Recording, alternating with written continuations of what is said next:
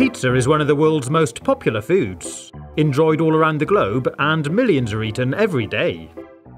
These pizza wheels are great for slicing them up. But why only use them for pizza?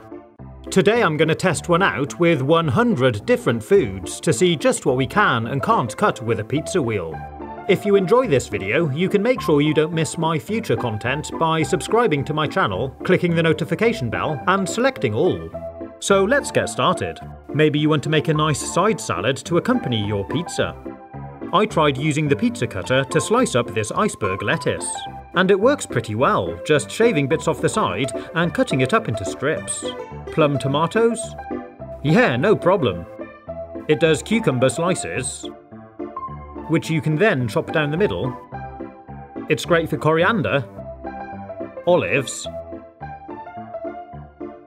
and even feta cheese. Toss them together in a bowl with a drizzle of olive oil, and there's our delicious side salad. But what about desserts? Something light like lemon meringue pie? No problems. Tarte au citron? Or cheesecake? Sticky toffee pudding? Ice cream block? Or apple pie? Yep, it handles them all pretty easily. If you want to buy a new pizza cutting wheel, there's a link in the description below. It can do naan bread, pita bread strips for dipping in hummus, garlic bread, sliced bread, butter. You can even use it to butter your bread.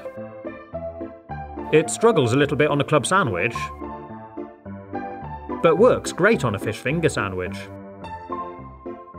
Wraps, bagels, crumpets, soft cheese, hard cheese, cheese on toast, fried egg on toast, hard boiled eggs, scotch eggs, small pork pies sausage rolls, steak slice, quiche, salami sausage, a hot dog sausage, right the way up,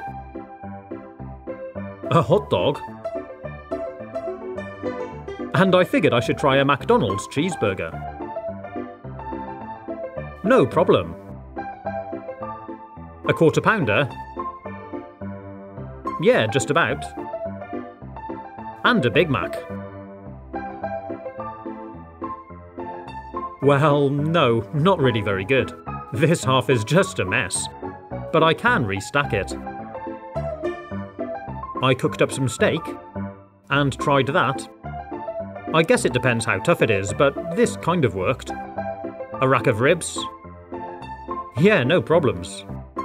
Preparing fish didn't really work, and I'm not going to get too graphic.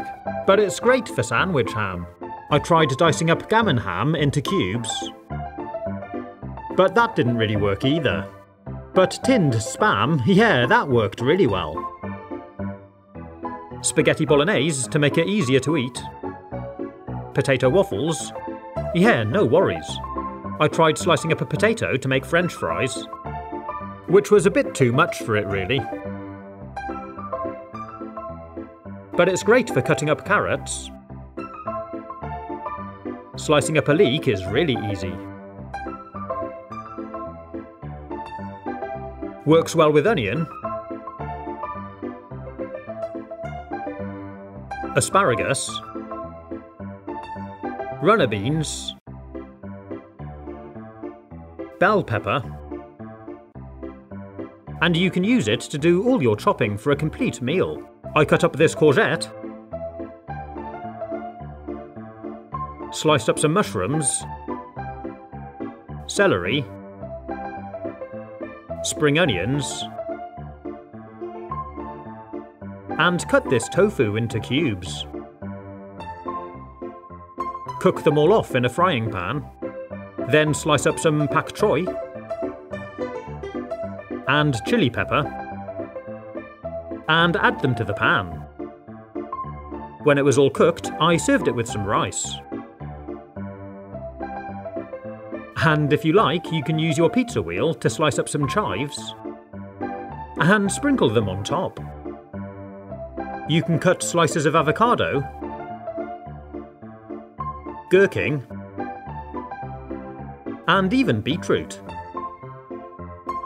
Now let's see how well it works with fruit. It's great for slicing up a banana, strawberries, mango. You can cut this kiwi in half to eat it with a spoon. Grapes. You can cut a peach in half and slice it up. Pineapple rings tinned pears. But this stick of rhubarb was a bit too stringy to cut through all the way. Passion fruit was a bit too tough for it really, and I had to force it through. Watermelon is just a non-starter. But if you have a slab of melon, the wheel slices it easily. You can put it all into a mixing bowl and make a nice fruit salad or sprinkle some over the top of your pancakes. It's great for cutting up sheets of puff pastry and putting lines in to make a lattice. It works well on apple strudel, croissants, chocolate eclair, cinnamon swirls, donut. It struggled a bit with this pretzel, but works great with jam tart, apple frangipane, or cherry bakewell. And you can easily cut marzipan into even-sized pieces. It cuts nougat, marshmallows, Twinkies, freshly baked flapjack, protein bars, it crumbled this aerated chocolate slab a bit, but worked great on this Toblerone. You can cut out cookie dough shapes, or cut through the finished product once it's baked. It's great for slicing up homemade brownies, or a chocolate tray bake. But this Madeira cake was just a bit too thick to cut through. So that's our 100 food items tested. Pretty cool, huh? You can let me know in the comments which was your favourite. Don't forget, if you want to buy a pizza cutter, there's a link in the description below. And make sure you don't miss any of my future videos by subscribing to my channel and selecting all notifications. Have fun, stay safe, and as always, thanks for watching.